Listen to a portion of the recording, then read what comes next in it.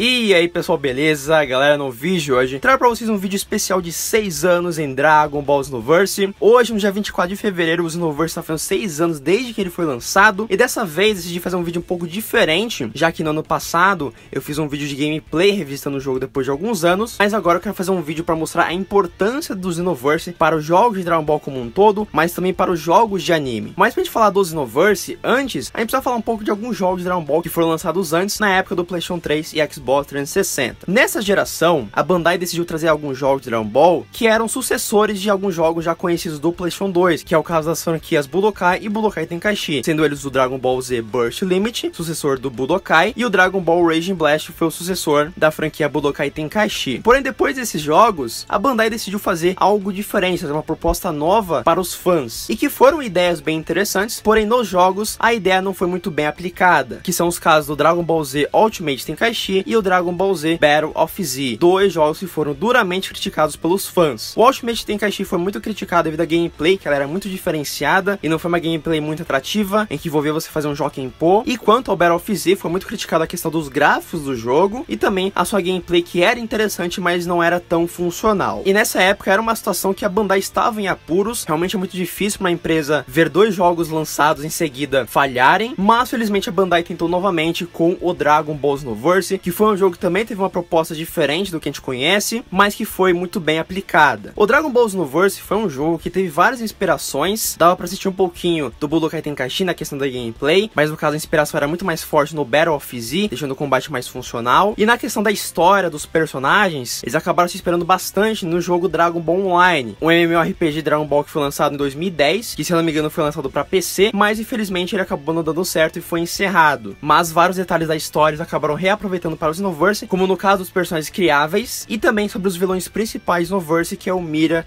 e a Towa. Em Xenoverse, a gente acaba sendo introduzido não só ao universo de Dragon Ball, mas também a gente acaba conhecendo um novo universo. E que no caso, primeiramente, você vai criar seu próprio personagem, você vai poder escolher cinco raças, sendo eles Saiyajin, Terráqueo, Nameku Seijin, Majin e raça Frieza, e ao criar, você será introduzido à cidade de Toki Toki, uma cidade onde tem os guerreiros da Patrulha do Tempo, que no caso são guerreiros que ajudam a manter a história de Dragon Ball do jeito que ele deveria ser. E nessa história, o seu personagem, ele acaba meio que sendo o escolhido, porque o Trunks ele faz um desejo para o Shenlong que apareça um guerreiro super poderoso para ajudá-lo nessa questão de consertar as linhas do tempo. E conforme você vai avançando na história, você vai criando uma amizade com o Trunks, você também conhece a Kaioshin do tempo e vai entendendo um pouco mais daquele universo novo que foi introduzido nesse jogo. Na época que ele foi lançado, a customização era muito interessante porque você poderia colocar diversas habilidades de personagens de Dragon Ball, diversos trajes também, e também ter o sistema de mestre, que você poderia escolher um personagem específico para ser o seu mestre, e conforme você vai melhorando a sua amizade com ele, você vai ganhando novas missões para ganhar tenkas deste personagem, que foi uma ideia muito interessante. Outro detalhe interessante sobre a história do Xenoverse é que eles tentaram trazer o protagonismo de uma forma diferente, em que no fim o jogador se torna o protagonista, e não, por exemplo, o Goku que é o protagonista de Dragon Ball, o que acaba sendo uma sacada diferente e também traz mais interação para o jogador, que é um ponto muito bom. E felizmente com essa proposta do Xenoverse, o jogo foi um sucesso. O Xenoverse conseguiu alcançar uma marca de 5 milhões de cópias vendidas, mostrando o sucesso que ele teve. E não só isso, um ano após o lançamento, nós já tivemos o Xenoverse 2, que recebeu diversas melhorias e que acabou recebendo um sucesso maior ainda que o anterior. Fora que vai fazer 5 anos que está recebendo DLCs, e ainda esse ano a gente vai receber uma nova leva de DLCs, que é o Legendary Pack, sendo que a primeira DLC terá o topo e o Pai Kuhan. E não só isso, salvou como um todo a franquia de jogos de Dragon Ball. Graças a ele, a gente conseguiu ver outros jogos um pouco diferentes.